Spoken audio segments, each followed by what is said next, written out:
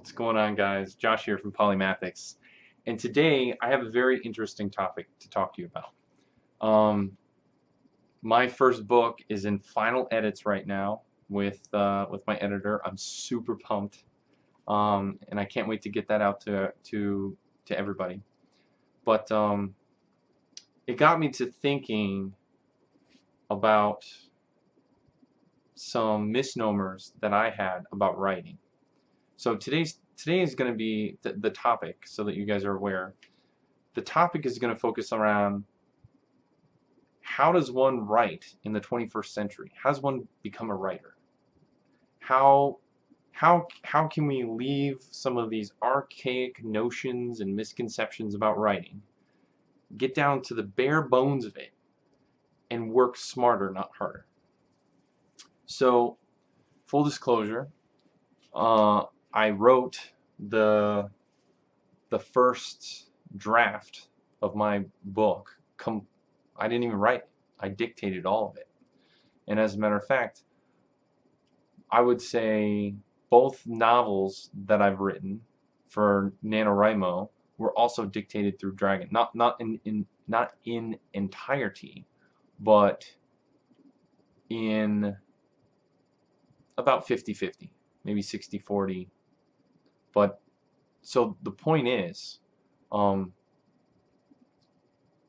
what that allowed me to do was get the first draft out there. Now, I'm not here to tell you guys about first drafts and things like that, but maybe in later videos I'll touch on this. There's tons of writing advice out there, tons of really good writing advice out on the YouTube channels. Um, just find someone who kind of fits your your niche and and as time goes on, I will continue to provide more writing stuff. Um, but the thing is, we're in the 21st century. You have to remember that the goal is not to be a writer, meaning not to be typing or writing something out. The goal, the true purpose of a writer is to tell a story. It's to instill some wisdom, a lesson to the audience, some what, no matter how big or how small, no matter how horrific or humorous. In the end, it all boils down to getting a story, a message from one person to the other. So right now I'm storytelling. And whenever we write, we're storytelling.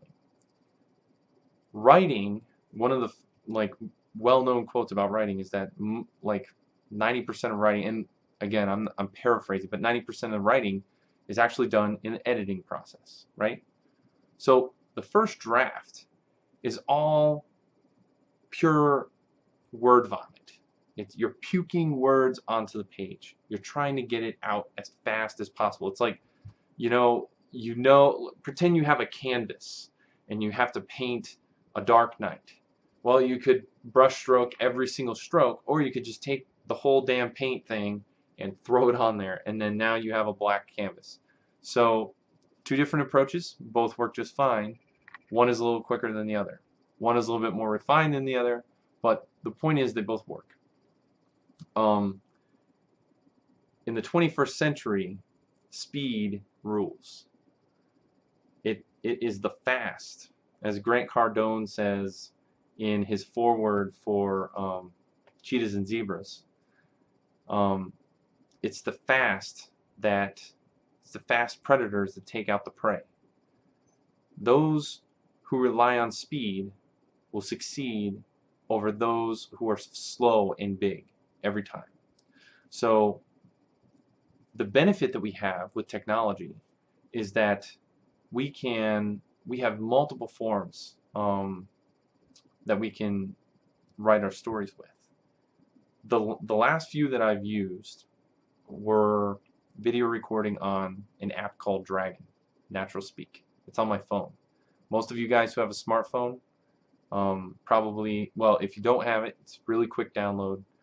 And what I would do is I would, you know, whether it was a scene or a chapter or just a few lines that I wanted to do, I would just, whenever something popped in my head, whether I was driving to work, from work, I was sitting in, you know, the uh, the restaurant waiting for my food, I would just sit down you know, speak into the microphone. Sometimes I would take walks at the park, and within no time, I mean, just tons and tons of content just spewing out, right? And the, the point is, you get that rough draft. Now you have the story. Now you can start to that rough draft. It's kind of like if you were a sculptor, it's the the boulder. Now you have the boulder. Now you have to sculpt and chip away, chip away at it, and that's the editing process. And so now when you go back to edit, that's when you can really start to like you know wordsmith and look at it from different angles and things like that. But um, the one of the big things I wanted to instill on you guys is that don't be afraid for your rough draft to use things use technology to your advantage um, I think for my next one for the next books that I write I'm actually going to talk into a video recorder because um, and the reason is like YouTube for example it will provide a timed transcript for everything that you use, right? So then you can take that, take the timestamps out, and you can start to edit that way. If for those of you that can afford it, you can have someone else, a YouTube transcriptionist, take the transcript, do all the, that work for you, and even put it into like paragraph format. So like, you know, the periods are there, the the all the words are spelled, any of your ums and ahs and pauses and and little things are taken out and then then then that's a truly like great first draft for you to then go into and start editing. And then once you put in you know whatever edits you want then you can forward it over to an editor. Um, and so this brings up another great thing right? There there are editors that you can find for hire freelance editors on Elance um, and tons of other places. You guys can look into that. Like all you have to do is like look up freelance editing and tons of stuff is tons of stuff will come up but the point is um, while you're going through this process you're probably at one point or another going to say to yourself well okay how am I a writer if if um, if I'm not actually writing any of this if all I'm doing is speaking you have to remember, like I said before, writing, it's just an action. Anybody can write. The reason why some writers are more famous than others isn't because of their writing. It's because of their storytelling, their ability to, to take a story and make it into something beautiful that affects other people's lives, that inspires other people, that causes them to take action or allows them to learn something that they otherwise wouldn't in their normal life something that immerses them into a different world. So the point is, um, don't focus on, don't don't mistake the trees for the woods or the woods for the trees, right? If your point is to get your story on the paper and get a nice first few edits in, then follow that follow that recipe. You know, record it, whether it's video recorded or tape recorded, then either you yourself clean it up and give it a few edits or have a transcriptionist do that. And then go in once you once you've put all your edits in then send it to an editor and have them you know put some final touches in. Get it get it to the industry standard.